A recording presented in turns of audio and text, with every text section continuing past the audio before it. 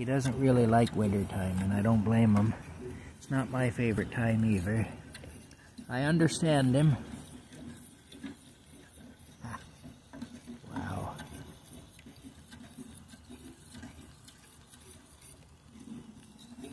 Here, we go now. Mm-hmm. Oh, that tastes really good. That is beautiful.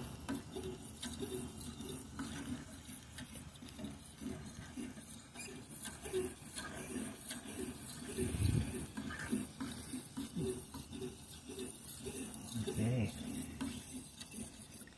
Yeah. Well, I'll let that warm up more. I can safely stop stirring it for now. Let it warm up. Okay. Yeah, then it'll go into my cup. All right. Talk later.